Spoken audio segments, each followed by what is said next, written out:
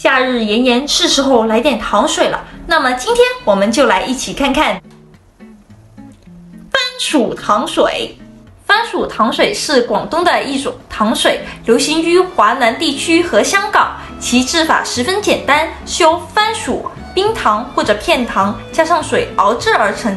冬天的时候，人们会加上姜片以作驱寒。它的特点是比较稀，由于加入片糖，所以有浓郁的糖味。由于比较容易种植，所以成为当地低下阶层最普遍的食品。以前华南地区番薯只有黄色的番薯，由于现今从日本进口了紫心番薯，再加上香港人在饮食方面的花巧，因此现在的番薯糖水变得五彩缤纷。